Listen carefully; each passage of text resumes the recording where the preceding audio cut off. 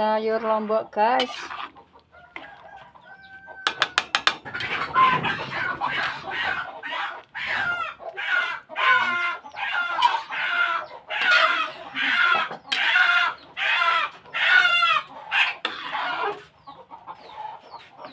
Loro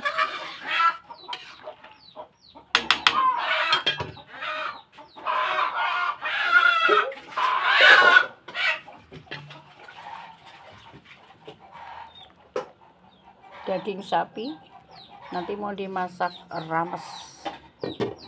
Nah ini sayur lombok.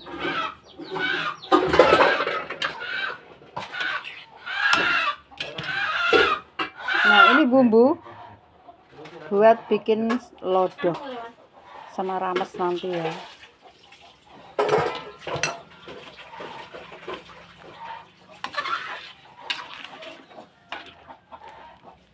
saya besarkan apinya. Jadi biar santannya nggak pecah jadi harus diaduk-aduk terus ya guys.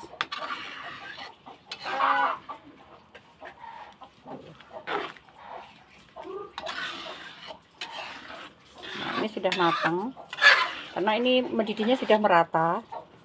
Kalau baru separuh jangan dimatikan ya. Ini udah rata gini baru dimatikan. Nah seperti teman-teman sayur lodehnya sudah matang. Saya matikan kompornya.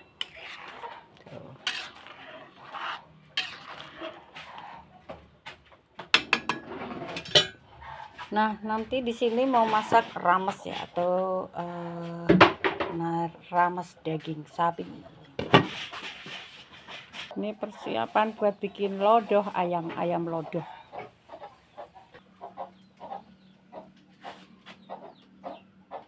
Nanti sore makan bakso guys. Sekarang masih Ya guys.